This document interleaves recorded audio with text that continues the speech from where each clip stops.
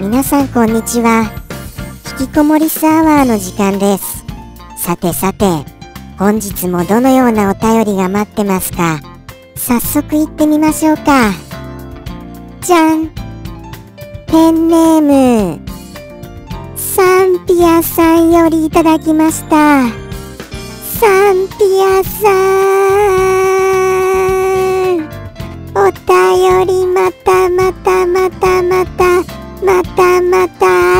あとね。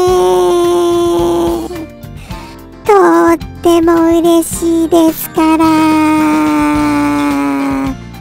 感謝絶えませんから。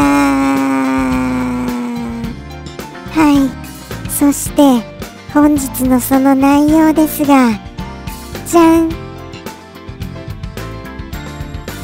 え？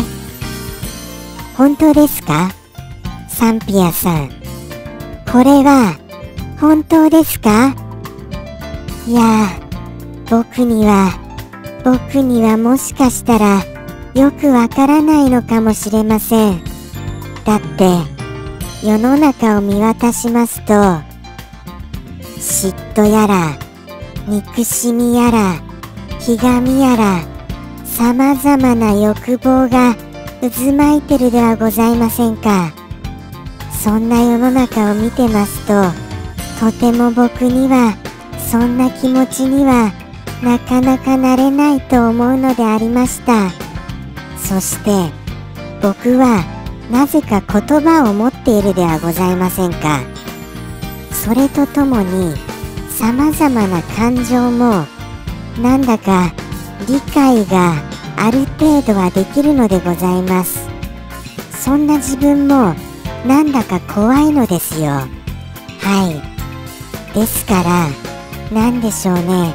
世の中も自分を含めてなんだか怖いんです。ちくしょう何者ですか？僕にこんな感情を植え付けた。何者かは悪の結社でしょうかね。僕は悪の結社に改造された改造リスなのでしょうか。この赤いマフラーを見るたびにそう思う時があるのですよ。くそー悪の軍団め僕は戦いますよ。そしてなんとかあのこの感情に打ち勝ってみせますよ。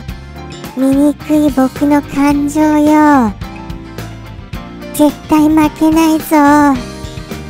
とそんなことを思ったりもします。そしてやっぱりあのふと思うのですけどサンピアさんも含めあの温かいお便りをくださる方々がいらっしゃるじゃないですか。その点につきましてはああやっぱり僕はそういう風に世の中を見て回るのはあまりよろしくないかなっていう風には思うんです。はい。いい人も世の中いっぱいいるなってそう思うんですよ。ですからあのー、なんて言うんでしょうね。感謝も絶えないんです。本当にありがとうございます。僕のこの妙なあの性格を受け止めてくださってありがとうございます。本当にあのその点ではいい人が多いなとは思っているんですよ。ということでしてなんだか複雑な感情のままこの一言を言わせてくださいませ。ではではサンピアさんからの一言言ってみましょうか。サンピアさんからの一言どうぞ。